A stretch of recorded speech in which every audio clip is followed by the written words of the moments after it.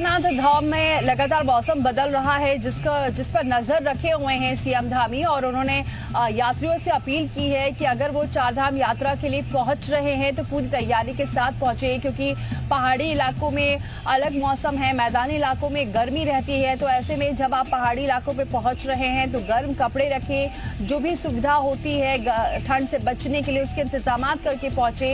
इसके अलावा उन्होंने ये भी ज़िक्र किया कि स्वास्थ्य सुविधाओं का ध्यान रखा गया है हेल्थ एटीएम बनाए गए हैं, जिसके ज़रिए स्वास्थ्य का ध्यान रखा जाएगा।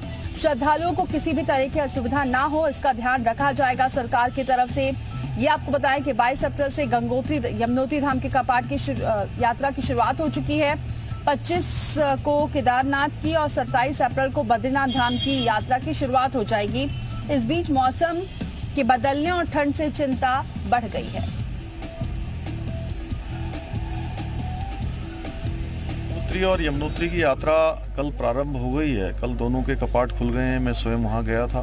पूरे देश से आए हुए श्रद्धालुओं में एक जोश है, एक मैं कहूँ कि आस्था, श्रद्धा का एक बड़ा वेग वहाँ पर देखा जा सकता है, लोगों के अंदर देखा जा सकता है। यात्रा अच्छी चल रही है। 25 तारीख से भगवान बाबा केदारनाथ जी के कपाट भी खुल रहे हैं।